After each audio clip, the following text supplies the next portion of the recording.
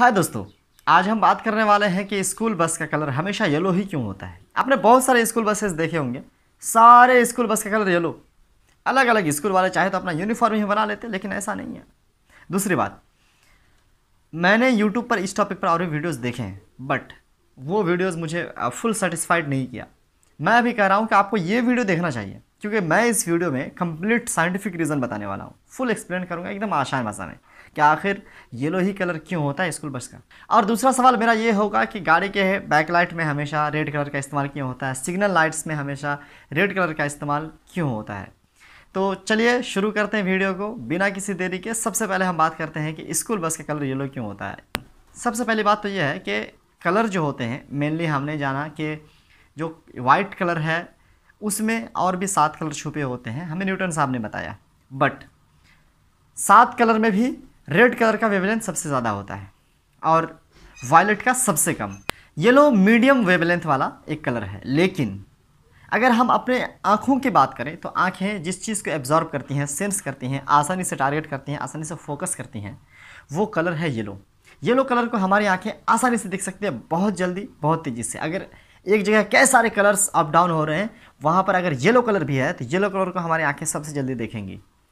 ये वेवलेंथ से थोड़ा सा अलग है, इसके पीछे का रीज़न है हमारी आँखों के रेटिना और उस पर पाए जाने वाले रिसेप्टर्स जी हाँ ये बहुत ही इंपॉर्टेंट पॉइंट अभी मैं आपको बता रहा हूँ। गौर से सुनिएगा। दरअसल हम किसी भी चीज़ को जब देखते हैं, हमारी आँखें जो फोकस करती हैं तो हमारा आँखों के पीछे का एक हिस्सा है रेटिना और रेटिना में अलग अलग कलर रिसेप्टर्स हैं। जो कलर रिसेप्टर्स मेनली तीन कलर के हैं, उसमें से एक येलो कलर भी है। तो येलो कलर एक मेन रिसेप्टर्स में से है हमारे आँखों के रेटिना का। तो हम लोग जो कलर सारे एब्जॉर्व करते हैं, उनमें से येलो कलर बहुत ज़्यादा तेज़ी से हमारी आँखों के रेटिना बहुत तेज़ी से उसे एब्जॉर्व कर लेता है सेंस कर लेता है बाकी कलर्स के मुकाबले में।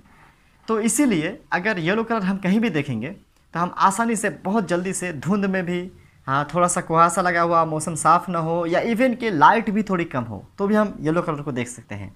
And that is the reason कि हमेशा स्कूल बस का कलर येलो होता है। तो ये सेफ्टी रीजंस की वजह से है, और हम स्कूल बस को रोड पे चलते हुए आसानी से देख सकते हैं उसे साइड दे सकते हैं, या इवन कि हमारी गाड़ियों को उसमें से डिस्टेंस बना के रख सकते हैं, ताकि बच्चे बस में सेफ़ रहें। और यही रीज़न है कि हम हमेशा स्कूल बस को येलो कलर में देखते हैं। एक और रीज़न जो इसमें लोग बताते हैं, उन्नीस की बात है 1939 की बात है, अमेरिका में एक बैठक हुई जहाँ पर स्कूल बस का एक स्पेशल कलर डिसाइड किया गया था येलो कलर तो इतिहास भी है, पहले से ही ये हो रहा है बट येलो ही इसलिए क्योंकि येलो कलर हम आसानी से टारगेट कर सकते हैं, हम आसानी से फोकस कर सकते हैं, हमारी आँखें येलो कलर को आसानी से सेंस कर सकती हैं। एक दूसरा सवाल जो मैंने कहा था वो ये कि रेड कलर रेड कलर का वेवलेंथ सबसे ज़्यादा होता है और वेवलेंथ उसका लगभग 600 टू 700 नैनोमीटर के आसपास होता है और इसी वजह से हम लोग रेड कलर को बहुत ज़्यादा डिस्टेंस से देख सकते हैं। सबसे ज़्यादा दूरी से हम रेड कलर को ही देख सकते हैं। और आपने शायद इस चीज़ को गौर भी किया होगा, आप जब गाड़ी में बैठे होते हैं, सफ़र कर रहे होते हैं, दूर पर कोई आगे से कोई गाड़ी जा रही होती है बाइक हो, कार हो, उसके पीछे का रेड लाइट आपको ज़रूर दिखाई दे रहा होता है। एंड रीज़न यही है कि वो जो रेड कलर इस्तेमाल हुआ है, इसी की वजह से उसकी वेवलेंथ बहुत ज़्यादा है। वेवलेंथ जिसकी ज़्यादा होती है हमें वो कलर दूर से दिखाई पड़ती हैं। इसीलिए गाड़ी में जो बैक लाइट होता है या फिर जो एंबुलेंस वगैरह का जो सिग्नल लाइट होता है या फिर ट्रेन के पटरियों में जो सिग्नल लाइट्स होते हैं, वो सारे रेड कलर के होते हैं। और येलो कलर वाली बात भी शायद आपको समझ में आ गई होगी, हमारी आँखें जल्दी से फोकस करती हैं, हमारी आँखें तेज़ी से येलो कलर को देख सकती हैं। और उसके पीछे का रीज़न, रिसेप्टर्स। हमारे आँखों के रेटिना में जो कलर रिसेप्टर्स हैं, वो।